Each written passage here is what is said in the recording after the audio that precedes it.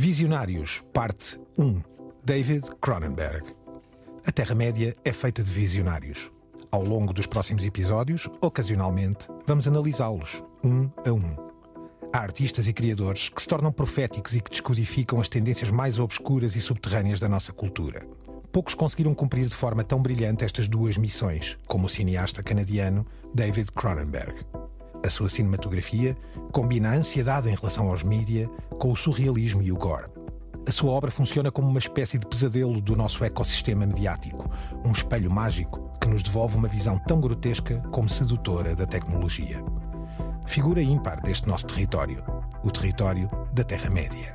The medium is not something neutral. It, it does something to people. It takes hold of them, it roughs them up, it massages them, it bumps them around.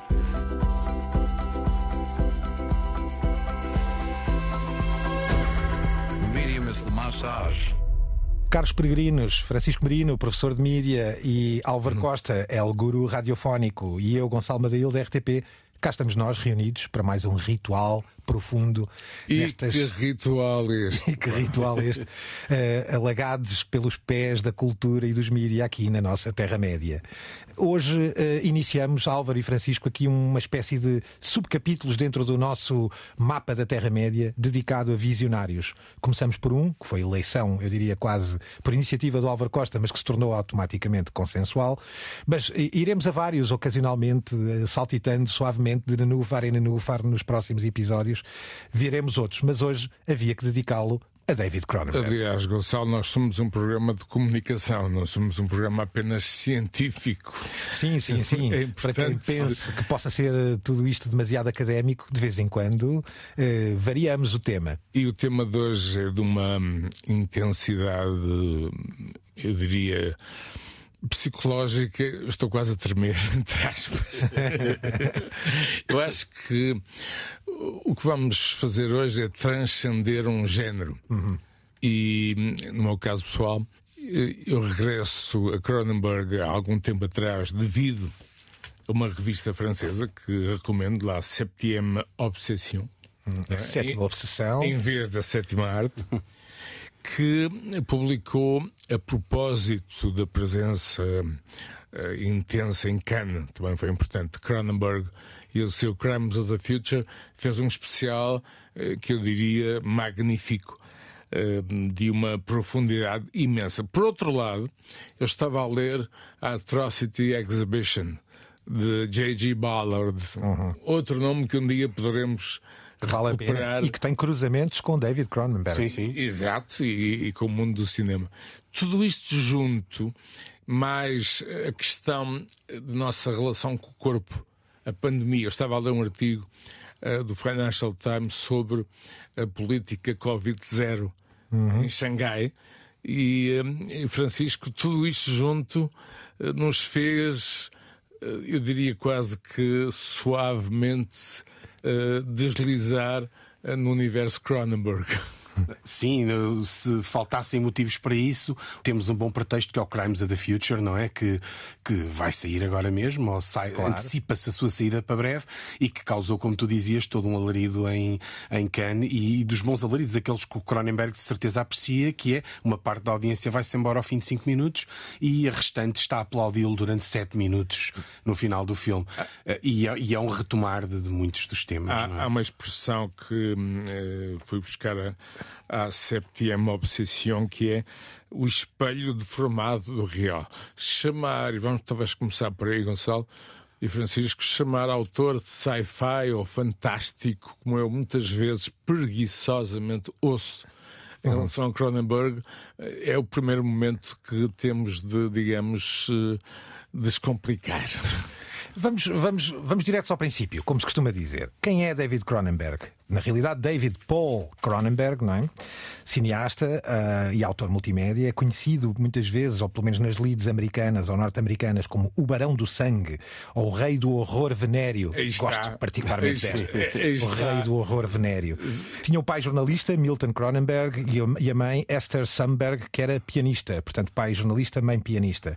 Eh, Nasceu em Toronto, Canadá, a 15 de março de 1950. 1943. Uh, está Vivinho da Silva, com bom ar e com uma particularidade engraçada, vista agora, aliás, em Cannes, que é depois de todas essas reações e desta visceralidade venérea uh, que atribuímos a Cronenberg, ele aparenta ser um ser, eu vou usar esta expressão quase fofinho aliás, uh, e carinhoso a falar, o que é muito, muito Gonçalo, curioso. Temos uma entrevista muito interessante em que ele explica Exatamente. de uma forma até bastante bondosa Ora, nem mais. alguns dos mitos à volta do seu cinema. Né? Ele tem, pelos vistos de jovem, uma certa inclinação para a literatura, escreveu vários contos, talvez eh, a genética do pai.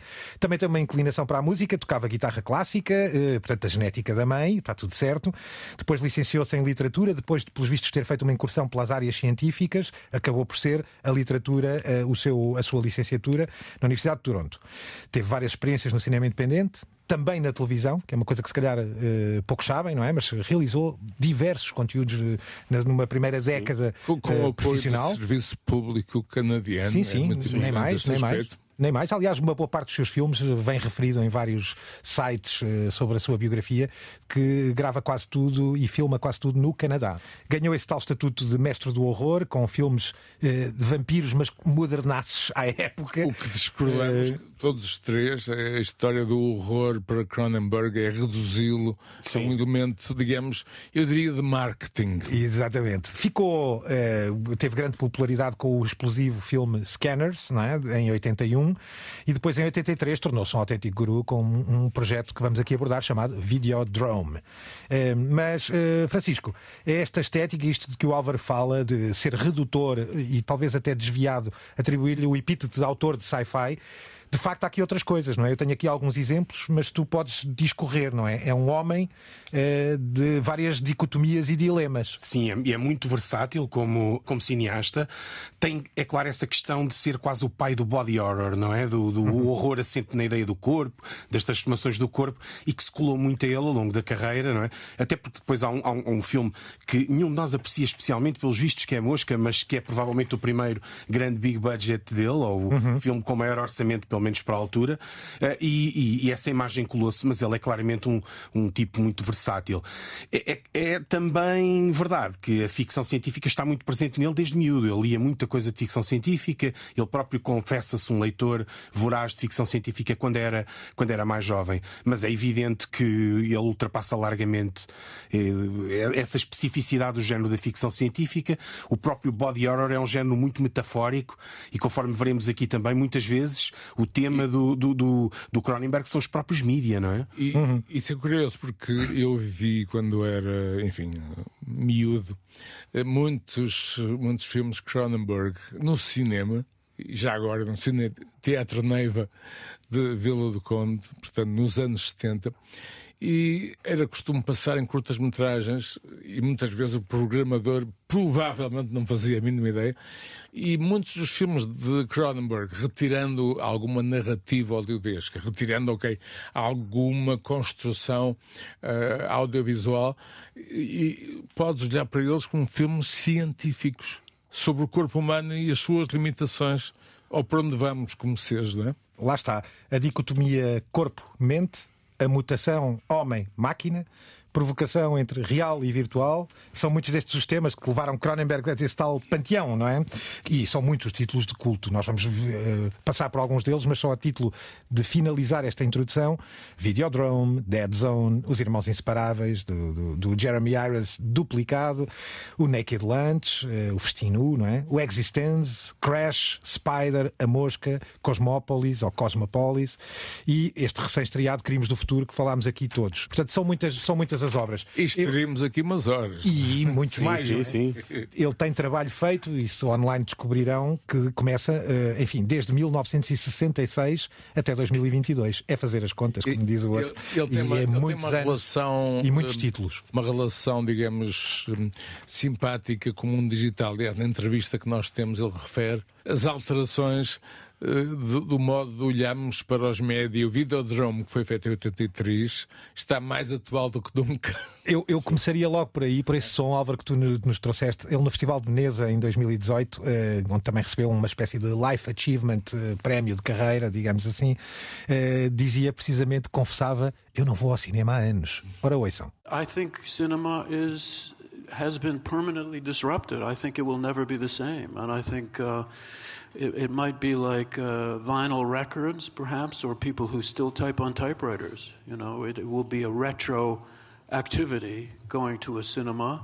I mean, there are social reasons why people like to go out to a cinema, but um, for me, I haven't gone to the cinema for many, many years, I have to confess. Pudéssemos organizar aqui dois ou três eh, enquadramentos para a carreira de, de Cronenberg, há um inevitável que é a biotecnologia e o body horror, não é? Body horror, se calhar aqui uma espécie de horror corporal, porque terror corporal não é propriamente. pode induzir em erro, não é? O body horror é um género, é um género e daí a, a, a expressão em inglês, não é? É um género de eleição de, de Cronenberg, em vários filmes é um subgénero, não é? Na prática é muito antigo, podemos. Uh, sim, sim. Mary o Frankenstein da Mary Shelley pertenceria a esse género, mas ele só ganhou atualidade já muito tarde e daí o, o Cronenberg ser quase classificado como o pai do género. Logo, por muito que fuja, não é? Ao género, e é verdade, é um cineasta muito versátil, ele vai ser sempre o pai deste género ou, ou o cineasta mais importante dentro deste género. E ele realmente trabalhou muito, sobretudo, a questão da manipulação do corpo, da, o enhancement, da, da expansão uh, do, do próprio corpo através da introdução de biotecnologia. Uma característica muito dele é que são tecnologias tecnologias quase orgânicas, não é? Que são acopladas uh, ao, ao, nosso corpo. E daí a ideia do body horror, não é? Uhum. Porque, ao contrário de, de, uma novela cyberpunk, em que temos muito ferro, muito metal, muito chip, uh, aqui tendemos a ver vísceras, uh, cartilagens. Relações muito físicas. Sim, Por um exemplo, no caso, no caso do Videodrome, eu vi muitas vezes o James Woods quando estive na Califórnia e hum, olhava para ele imaginava imediatamente aquela figura sinistra, um, um, diretor de cabo que de repente descobre um canal bizarro, que é um canal snuff, e nessa sua viagem também sexual, está sempre lá, uh, leva consigo Debbie Harry.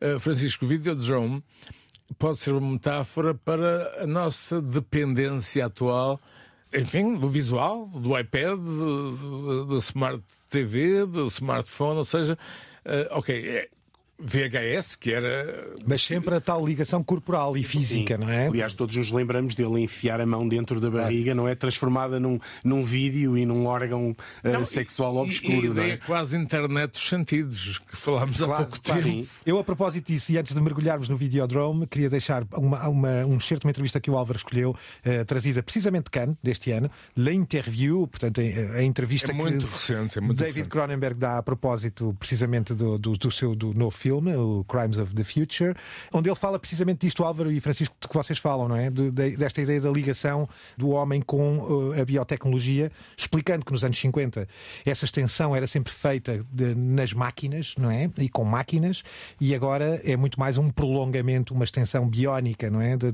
Dos nossos, enfim, dos nossos limites corporais, não é?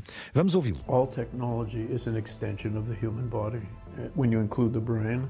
There was a time in the 1940s, 1950s with science fiction where technology came from outer space. It was alien, it was non human, it was destructive. I, I, think that all technology only comes from humans and it is always about the body, the extension of the body, the fist, the eyes, you know, you see binoculars.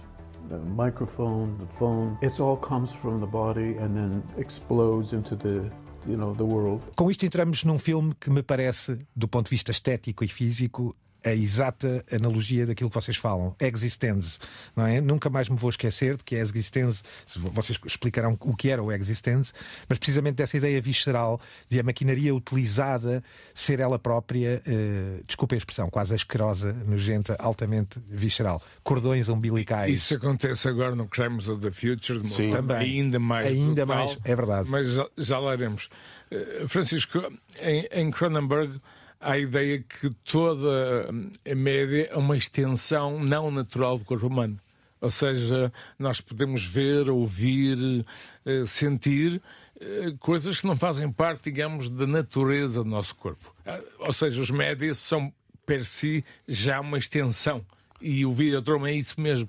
É. Aliás, Francisco, o Existence vai mais longe porque apela também à ideia das consolas e dos videojogos, não é? E Queres do explicar... que é real e do que não é real? O 1999, só a título de referência. O Videodrome e o, e o Existence são dois filmes parecidos e quase podíamos dizer a mesma coisa uh, acerca dos dois. Ou seja, esta ideia da tecnologia quase orgânica, não é? Que é, está mais patente no Existence e no Existence tem uma questão que é, relaciona-se muito com os videojogos e por isso é marcante nesta altura, embora é um filme que não envelheceu muito bem, não é? Também, Francisco, Sim, um certo avanço, porque. A, a, ideia disto era um comando, não é? era uma espécie de uma consola de PlayStation, Sim. só que ao contrário das nossas consolas, era uma consola orgânica, não é? Um pod que nós enfiávamos por um, um pequeno orifício à semelhança do nosso, do nosso umbigo, não é? A relação de Cronenberg com a tecnologia, a sua ligação e, com os limites corpo, do corpo humano. É? E, e, aqui a ideia até era que o próprio pod podia adoecer, não é? A consola podia adoecer.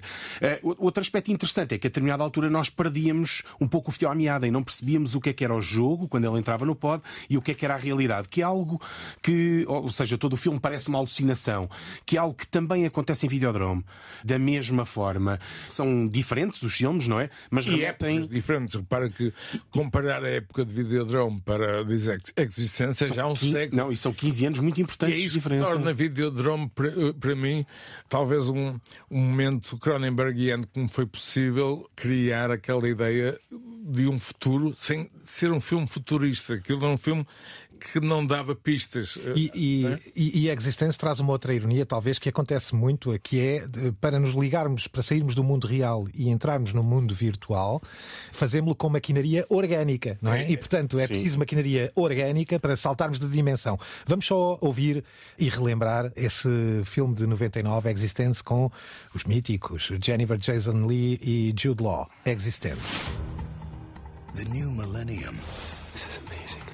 Will bring a new experience. You're the power source. We'll see how natural it feels. Where the playing field is a parallel universe. The game's a lot more fun when it starts feeling realer than real. No use fighting it. Na senda desta ideia de biotecnologia e body horror, que aqui já falámos, já, já, já abordámos, este Crimes of the Future de 2022, portanto, um filme absolutamente em estreia, para já celebra uma, uma, uma ligeira paragem aqui de alguns anos, embora ele pelo meio tenha feito meia, umas curtas-metragens. É, mas, mas de facto celebra um regresso, não é? E em grande, em Cannes, com essa tal. Crimes of the Future deixou já a sua marca na sala, não é, Francisco? E é um regresso também este tema, esta questão do corpo humano, como o Álvaro dizia há pouco. Aqui a ideia é precisamente num mundo distópico, cheio de problemas relacionados com poluição e com. Que não são com... explicados. Sim, que não são explicados. Os personagens têm, têm aspectos físicos que podem ser repelentes, ou seja, o ser humano vai evoluindo e vai incluindo elementos que os seres humanos de hoje ainda não possuem. Este é um filme passado no futuro. E a ideia é que todos começam a sofrer. Uh, é claro que há um grande impacto também na inteligência artificial, mas uma série de, pessoas, de seres humanos começam a sofrer transformações, não é? Umas voluntárias, outras não voluntárias. Algumas são quase side effects ou efeitos secundários de alterações já produzidas no nosso organismo. Uma delas é o fim da dor e da infecção, que dá origem ao que ele chama, a uma frase que eu resumo, que é o surgery is the new sex, ou seja, em que as pessoas estão viciadas em cirurgias. E, e, e há outra questão que ele, que ele refere, que é, por exemplo, o plástico como possível forma de alimentação. Sim, uma, uma, das personagens tem. E há, há uma, há uma uh, acho que era a Vanity Fair que a determinada altura a comentar o filme dizia intestinos sexy, porque havia um filme que levantava, ou seja, uh, este filme levanta essa questão, aí, esta ideia do Cronenberg. Aliás, há uma história incrível que vamos contar no, no final que o Álvaro trouxe, precisamente sobre essa ideia da beleza interior, não é? Uh, mas e, e Gonçalo, ele fala até de tatuagens de órgãos internas. internas. Exatamente. E, e no fundo a nossa relação uh, um pouco uh, visceral com as nossas enfim, com o nosso corpo interno. Exatamente, exatamente. Nós temos um corpo interno, com vísceras, com órgãos, com, com uma série de. Como diria o outro, é lidar, não é? é lidar. Vamos ouvir eh, um bocadinho deste trailer saído agora. Recomendamos vivamente para 2022 esta estreia e para este verão: Crimes of the Future, David Cronenberg. I don't like what's happening with the body. In particular, what's happening with my body. Which is why I keep cutting it up. What do you think they'd find inside it? Outer space. Whoops. Sorry. Let us not be afraid to map the chaos inside.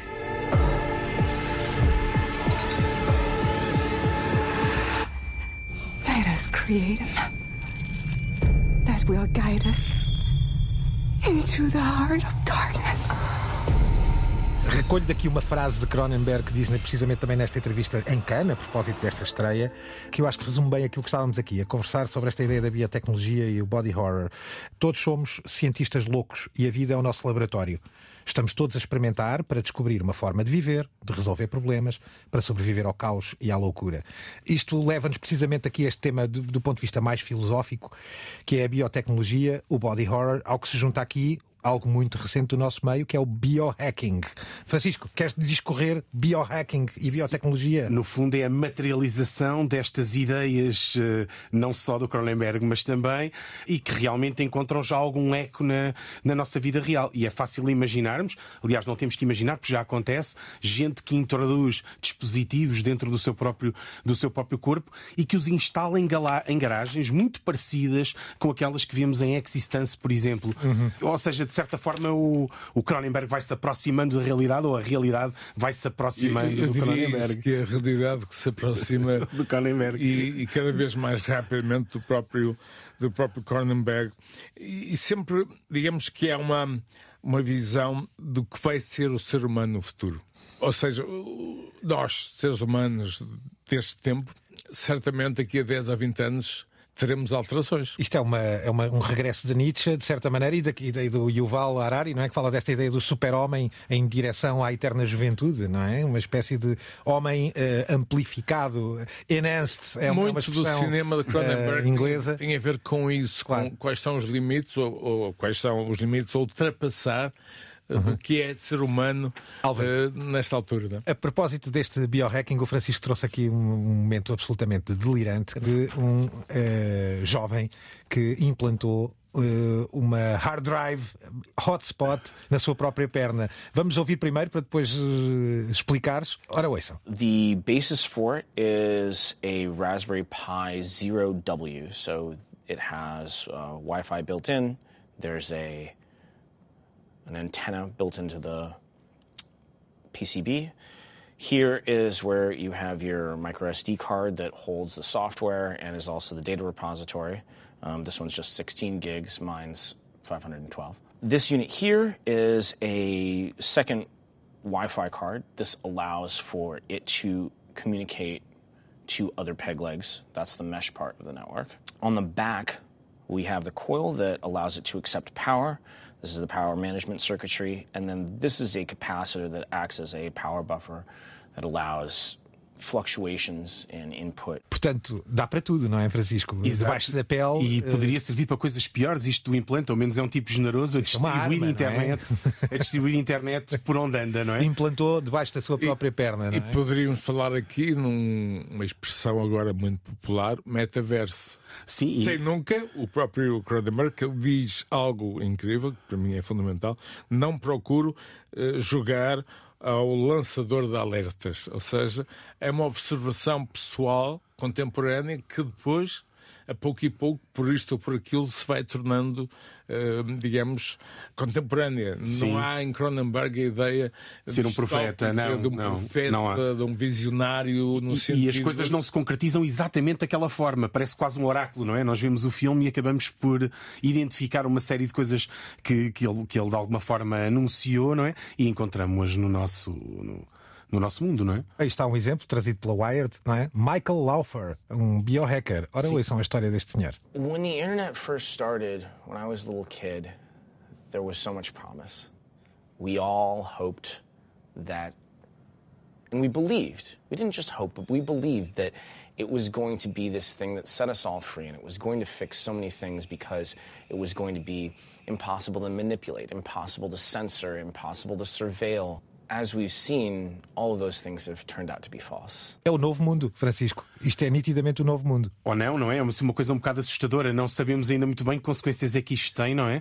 Mas na prática acaba por ser uma tendência eh, que vamos ver, não é? Porque se alguma destas coisas correr muito mal, ficará fora de moda, não é? Muito rapidamente. A tecnologia orgânica leva-nos a isso, não é? A impressão de novos órgãos, por exemplo, na área da medicina, também é, obviamente, um, um, segue este, este trilho, não é? Sim. Pode não ser um, uma hard drive ou um, um hotspot de internet. E, e, as carnes sintéticas e tudo Exatamente. isso. Mas é precisamente nesse sentido o, o, o, o enfoque do, do, do, Cronenberg muitas vezes é mais no, no, pesadelo e nos problemas morais, filosóficos que acarreta esta transformação do, do homem. É isso que o torna especialmente interessante. Não, e, não é? e, há tempos, numa dessas entrevistas, a ideia do plástico poder ser transformado uhum. em alimento e resolver questões que estão muito em voga. Isto pode parecer assim algo bizarríssimo, mas quem sabe se no futuro haverá cientistas que transformam o plástico, só que uhum. por todo lado, em alimentação humana.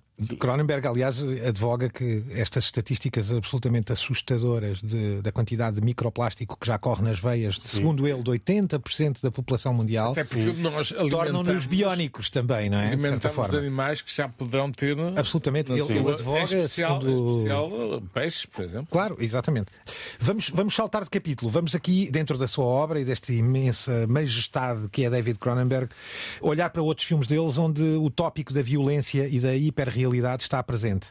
Rabid, um filme de 1977 que tem traduções muito cómicas, não é? É especial às brasileiras, não é? Especialmente as brasileiras. Recomendamos que vejam o título. Não sei se ainda tens aí à mão, Francisco, mas era qualquer coisa sobre mas uma tem a ver raivosa com sexual. A atriz principal, um Sim, momento porque é a história, de, não é? de grande, grande, grande inteligência por parte de. O título brasileiro, lembro-vos, é Enraivecida na Fúria do Sexo. uh, e que tentava, provavelmente, capitalizar, como o Álvaro aqui dizia, na presença da Mary Marilyn Chambers, que é a protagonista e que é uma atriz eh, de cinema pornográfico dos anos 70, art, que é, entra neste art, filme. Sim. Porno sim. Behind the Green Door. Já se falava outros. em Rabbit, de 1977, já, já explorava Cronenberg estas ideias das viroses, da, do sangue, da violência, da, da, ideia de contaminação, não é? E já juntava uh, no filme, se calhar a título meramente referencial, acidentes de automóveis, coisas que veríamos mais o, tarde. O Crash. Sim. Exatamente. Que, aliás, Vamos... Eh, é um livro de J.G. Ballard. Exatamente, de quem vamos falar obrigatoriamente. Vamos só uh, sentir aqui o trailer de Rabbit de 77 com Laura Vandervoort, Ben Hollingsworth e Phil Brooks, o trio de atores que constitui o núcleo de Rabbit. All around her people are dying and only Rose knows why. You gotta come quick. You gotta come quick and get me. It's Rose. It's gotta be. Something's happened to Rose. Officials. Health officials have said they consider the outbreak of the new strain of rabies as being potentially the worst of this century.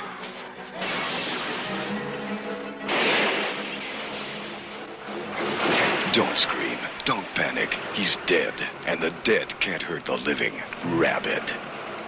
E daqui, inevitavelmente, dentro deste capítulo da violência e da hiperrealidade, Álvaro, uh, já, já o mencionaste hoje aqui várias vezes, mas é de facto um assombro. Videodrome, de 83. Videodrome continua, eu revi em, enfim, DVD recentemente para esta missão e parece-me mais atual no sentido em que nós podemos olhar para Videodrome com os 40 anos de distância. Distância claro. Poderá ser para as audiências contemporâneas eh, menos impactante, mas, eh, Francisco, nós, eh, eu neste caso sou um pouco mais idoso. Ligeiramente. Mas sou. E, e vi este filme uh, no cinema.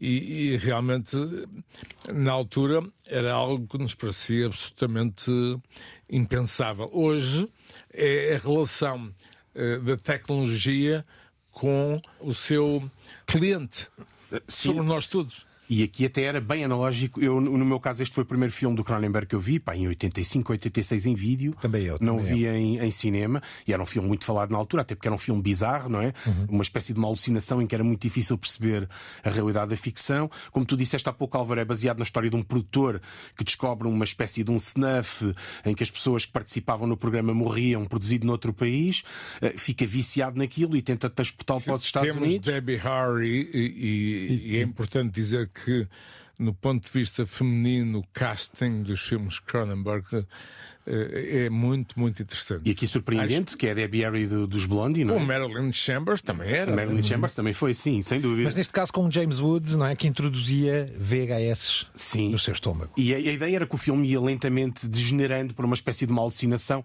em que se tornava muito difícil perceber o que, é que era real daquilo que era. Ou seja, começava como um thriller e acabava como outra coisa qualquer. Mas, Mas era tem... um espírito da época, não era, Francisco? De, fazias esse e... comentário aqui com os, que os teóricos dos mídias na altura também muito suscitavam de forma apocalíptica Sim, que era a crítica à televisão. Sim, é numa altura em que a televisão é o tema dominante e sempre vista de uma forma muito pejorativa, e o, este filme acabava por espelhar esse terror, essa ansiedade em torno do meio é, da televisão. É aí que está o espanto na altura, porque nós esqueçamos que eh, estamos nos anos 80, em Portugal não tínhamos sequer eh, televisões ditas privadas e nos Estados Unidos da América do Norte, em particular, Canadá e outros países do hemisfério norte, estava a começar aquilo que se pode chamar a cultura cabo. Sim. Aliás, uh, James Woods é um diretor de televisão. Sim. É um diretor de um canal de cabo, porque era algo, digamos, sci-fi. O sci-fi em Cronenberg, uh, Francisco,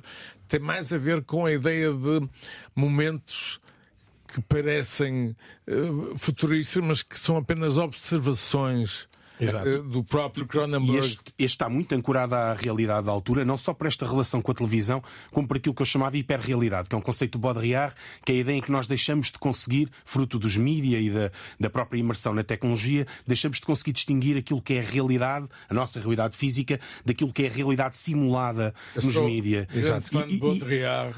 E, e, só queria dizer uma coisa no instante, ele disse mesmo uma coisa que me deixou alucinado. Disse ele, São Francisco Europa à beira Pacífico. eu sou um grande leitor de Baudrillard que eu acho que ajuda muito um, descodificar Cronenberg. Podemos sim.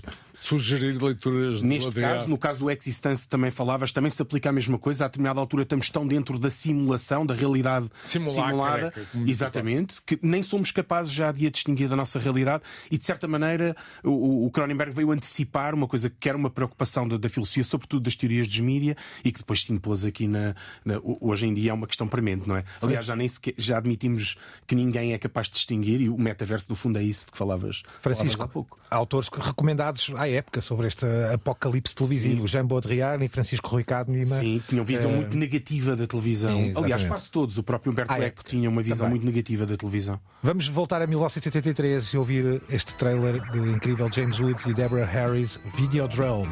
Max Wren is a victim. I woke up with a headache. He has been exposed to Videodrome. I've been hallucinating for a while, ever since. What? Since I first saw Videodrome. His brain is already receiving video images. I think that massive doses of Videodrome signal will ultimately produce and control hallucination to the point that it will change human reality. E daqui, direto para um dos melhores espelhos do dilema Corpo-Máquina, um filme chamado Crash, de 1996, eh, com o mítico James Spader e a Holly Hunter, creio que também Rosiana Arquette, uh, suponho. Faz um papel. Faz, faz um papelão também. Uma descrição geral. Que filme é este? Que loucura uh, de viação ou, uh, ou rodoviária é este? É metafórico, é metafórico. o acidente, não vou dizer muito, eu sei que tu és um grande fã, é um, um acidente automóvel transformado em fetiche sexual e ao mesmo tempo uma ótima forma de, de discutir a própria fetichização de, das máquinas, há, não é? Uma espécie de líder de uma seita, que é o Elias Coteas, é o James Spader, que, que um, um papelão. Um, e, e, é um filme onde estamos nos anos 90, onde realmente a tecnologia começa, digamos, a tornar-se uma espécie de cerco à nossa volta. A questão do, do acidente automóvel tem também um lado visual, tem também um lado gráfico e o filme explora muito bem essa questão, mas tem muito mais a ver com a ideia eh, sexual da nossa relação com as máquinas uh, e, neste caso, uh, com o automóvel. Embora, lá está, como disse há pouco, tudo englobado eh, numa espécie de culto sexual. O corpo deformado, não corpo é? Deformado, E já não é? agora essa ideia muito curiosa de cicatriz como o portal de Sim. passagem, não é? A ideia das cicatrizes. Vamos ouvir o trailer de Crash, 1996. James Ballard has been seduced into a secret world. The car crash is a liberation of sexual energy. where the only way to connect is to crash. It's the future, Ballard. It's something we are all intimately involved in. Why are the police taking this so seriously? They have no idea who we really are. Now, they'll do anything Describe it to me. Ah. Obsession. Is there something here that interests you? Daqui para um outro, trabalhando a violência, History of Violence, Álvaro, um Viggo Mortensen aqui eh, com uma dupla identidade, algo muito americano, dizias. Antes disso, queria dizer-te eh, duas frases. Body is reality, technology is body. Parece Marshall McLuhan, que também é canadiano. Pois é, exatamente, curioso, Eu curioso. acho, eu acho que essas duas frases eh, quase que resumem eh, muito do, do cinema de Cronenberg. Mas no caso do, de uma história de viol- de violência, e lá está, não podemos colocar Cronenberg num género. No fundo, este é um filme, poderia ser, digamos, muito próximo de um Better Call Saul ou de um Breaking Bad. Tem muito a ver com mitologia americana que os canadianos, enfim, observam. E cultivam, não é? cultivam. Cultivo e esta ideia de violência, não é? Sempre presente. Essa, E de identidade. essa permanece nos filmes Identidade, de Cronenberg. Tem muito a ver com alguém cuja identidade não é aquela que parece.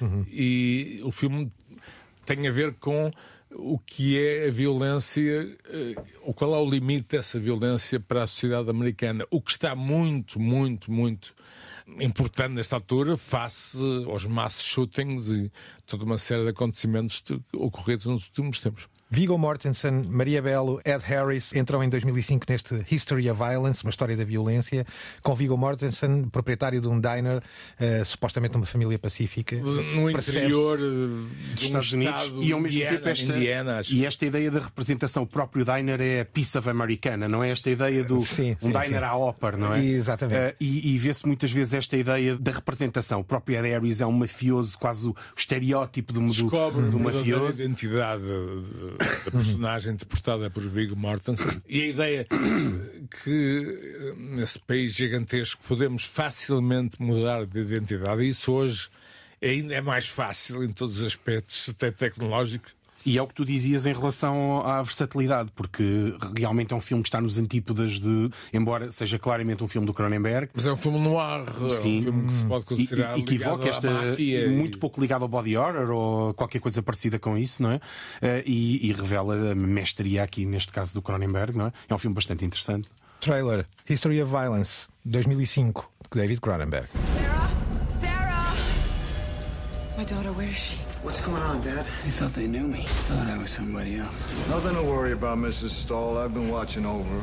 I don't know what you want, and I don't really care. You should care about what I want because what I want might change your life. Why don't you ask Tom and ask him how come he's so good at killing people? Esta leva-nos a uma incursão sobre alguém que já aqui falámos, J.G. Ballard, eh, muitas vezes conhecido como o tal miúdo, o puto do filme Império do Sol, mas que é um autor de ficção científica difícil de rotular. Francisco, dizias. Sim, é por causa do Crash, não é? Porque ele é o autor do. do, do- Aliás, o Crash é baseado num- numa obra de J.G. Ballard. Temos também o Atrocity Exhibition, que Sim. faz parte da pop cultura através do Joy Division. Eu- eu- é um- é um autor aqui importante, Francisco. Gostava que falasses Essencial, das influências que ele deixou, inclusivamente em Portugal. Ele, é? ele- ele é importante, para já desde, desde logo o próprio Cronenberg foi dos primeiros a adaptar, não é? Tirando o caso do Império do Sol, em que ele é realmente o miúdo, literalmente, ou seja, aquilo é baseado, lá, eh, é uma adaptação muito livre, não é? É mais base- Claro. inspirado na vida dele E na sua enquanto esteve em Xangai. det- em Xangai e quando esteve detido durante a invasão japonesa. Mas o, o, o Cronenberg foi dos primeiros primeiros a, a pegar nele. E desde aí tornou-se uma espécie de, de, um autor de referência que, destes autores que, à semelhança um pouco do Philip K. Dick, de alguma forma dizem muito ao, ao nosso contexto atual. Uh, o, o filme português Aparelho Voador a Baixa Altitude, de, realizado pelo Solveig Nordlund, é provavelmente também uma das adaptações mais célebres de uma obra do, do, do Ballard. Do Ballard. Uhum. Uh, saiu recentemente também um que é o I Rise. Fala-se numa eventual adaptação do Millennium People, que tem andado aí a um outro romance Aliás, dele. Ele vivia muito perto do aeroporto de Heathrow, numa zona suburbana assumida, eh, brutalista. E, e é muito desse universo também acaba por, digamos, eh, entrar no, no, seu, no seu mundo. Eu, eu, ao reler Atrocity Exhibition, que já não li há muito tempo, curiosamente senti mais confortável agora, porque o Atrocity Exhibition é uma série de sonhos, pesadelos, referências que a mente da principal personagem vive em sonho. E nós hoje em dia, Francisco, recebemos diariamente que quantidade de imagens, que quantidade uh, de estímulos visuais que se confundem uns com os outros. São milhões e milhões e milhões de screens, de ecrãs, de, de imagens, de texturas, textos, de cores. De, de fotografias. O, exatamente. Até que o próprio Cronenberg uh, também está atento, não é? E, e, e, trazíamos aqui, porque o tempo urge, esta ideia de um lado. Cronenberg também era um artista multimédia. Uh, e tem aqui uma experiência curiosa, Francisco. É, tem, ele, ele fez recentemente uma, uma, uma experiência quase transmídia que se chama Body Mind Change, que é baseada numa exposição em torno do, do, do, do mesmo tema, ou seja, isto é uma extensão de uma exposição uh, no Canadá que recorria a objetos, artefactos parecidos com aquele, concebidos pelo próprio, por, por outros, em redor dos temas do, do, do seu filme. E que depois deu origem a toda uma narrativa web que, em que nós nos poderíamos inscrever, dispersa pela net, em que seguimos este laboratório fictício chamado Body Mind Change e que cria um, consolas muito semelhantes àquela de que e, falámos no Existence. E recentemente sugerimos, já que, né, num ponto de vista sonoro, radiofonicamente não faria feito, um microfilme em que Cronenberg filma a sua própria morte. Exatamente, sentado ao lado do seu próprio, seu próprio cadáver, cadáver, em modo contemplativo. É uma curta-metragem, aliás, feita pouco antes do, aliás, deste último filme dele. E, exatamente. Vamos só ouvir aqui Cronenberg a guiar-nos pelo futuro dos bioimplantes humanos, uh, não é, Francisco? Deste sim, laboratório. E porque ele próprio era uma figura central, ou seja, ele é quase como uma espécie de paciente zero para estes. É ficcional, não é? Para um laboratório ficcional, mas ele é uma espécie de paciente zero do body mind mind change, né? Vamos ouvi-lo explicar. Hi, I'm David Cronenberg. I'm very excited to partner with Body Mind Change and contribute to its groundbreaking pod recommendation engine. The promise of Pod is nothing less than extraordinary. It represents an unprecedented leap forward in human improvement technology, placing humanity at the threshold of a new evolutionary age. Physical and intellectual symbiosis with Pod will improve your life in unexpected ways. Through a process called synaptic entanglement, Pod's personality integrates with your own, a truly unique life form. E daqui, assim como com muita rapidez, há outras incursões. Uh, Álvaro, trazes uma curiosidade muito curiosa. O filho de Cronenberg, Brandon Cronenberg, trabalha e mexe com estas matérias também. Parece que é um ADN, não é? Exatamente. Traz é. este filme, não é? O Antiviral de 2012. 2012. Antiviral. Só o nome viral, uh, vírus, acaba por se tornar contemporâneo. Não nasceu hoje, simplesmente, uh, digamos que é um transfer para os dias de hoje. E de alguma forma posso confessar que eu regresso, e no fundo todos nós regressamos a este universo. Esta pandemia também, Gonçalo, ajuda é muito, é muito a voltar a este cinema que tentamos uh, transformar, não direi numa novela radiofónica, mas num filme radiofónico. Para terminar, não podíamos deixar de trazer aqui dos, um dos seus últimos uh, delírios, posso dizer assim. Uh, em 2022, Cronenberg, pai, o David, de volta ao grande David, uh, no lançamento em Cannes do seu novo filme, Crimes of the Future, já aqui falámos, decidiu fazer algo curioso. Foi ao médico, tirou 18 pedras dos rins, que estava a precisar de tirar, olhou para elas, achou-as absolutamente maravilhosas como peças de arte. Lembrou-se. O interior do corpo, Exato. arte. Lembrou-se do do seu próprio filme, O Irmãos Inseparáveis, onde Jeremy Irons era um ginecologista com um irmão gêmeo igual, ambos, ambas as personagens feitas pelo mesmo, obviamente, que a uma certa altura dizia ao irmão, porque não um concurso de beleza interior Exato. e não apenas exterior. E daí, vai daí, como diz o outro, e decidiu leiloar eh, estas. Eh, 18 pedras eh, que fazem um conjunto muito curioso, que começou com uma licitação de 10 Ethereum e, e não deixa de ser, eh, enfim, acho, acho que fala por si, não é? Não sei se querem comentar este final, mas isto é Cronenberg. Eu acho, eu acho que ele está a dizer que dentro de 10, 20 anos a nossa relação com o interior do nosso corpo será completamente diferente. Ah, Sim, e ao mesmo tempo tem aquele toque, não é? Como tu falavas da beleza interna, não é? Esta ideia orgânica e do, do corpo como uma área para aperfeiçoamento, aliás, e para expansão tecnológica do sujeito, em vez da tal ideia muito fria cyberpunk, do metal, de, e, e aqui, aqui mais uma vez voltamos ao peso do, do corpo, da beleza interior, como tu, lhe, como tu lhe chamavas, e o Cronenberg também, não é? É curioso até que isto que na altura foi vendido por 30 mil, mil dólares, como foi com bitcoins, em Ethereums, hoje em dia poderá já não valer grande coisa. Eu- Se calhar qualquer um de nós poderá arrematar. Mas, mas isso é outra história, é mais para o Financial Times. Talvez vendê-las uma a uma e dar Sim. 18 compradores e não vendê-las de uma, de uma só. Caros amigos, eh, eh, este foi o primeiro de, de vários episódios que também vamos dedicar ocasionalmente a visionários. Este é o 1, virá o 2, o 3, o 4 e por aí fora, mas era inevitável e era vontade de todos, a começar pelo grande Álvaro Costa, começarmos por David Cronenberg. Este programa teve a produção da maravilhosa Cristina Condinho, esteve aos cuidados sonoros o, o nome do momento, Alexandre Bandola, e teve naturalmente nós os três aqui e o Guilherme Marques, o feiticeiro da pós-produção, que ajuda a colar estes sons maravilhosos que tentamos aqui expor. Temos tudo nas plataformas do costume, em podcasts, no Spotify, no Google Podcasts, no Apple Podcasts. Temos na RTP Play o cuidado de deixar os links de todas estas referências que aqui vimos, caso queiram escavar, explorar e descobrir. E, e voltamos muito em breve. Gostava de fechar precisamente com uma citação de Cronenberg que diz apenas e só: Nunca pretendi assustar as pessoas no cinema. Quero apenas levá-las por uma viagem filosófica que lhes mostre quem somos e quem não somos. The medium is not something neutral. It, it does something to people. It takes hold of them, it rubs them up, it massages them, it bumps them around.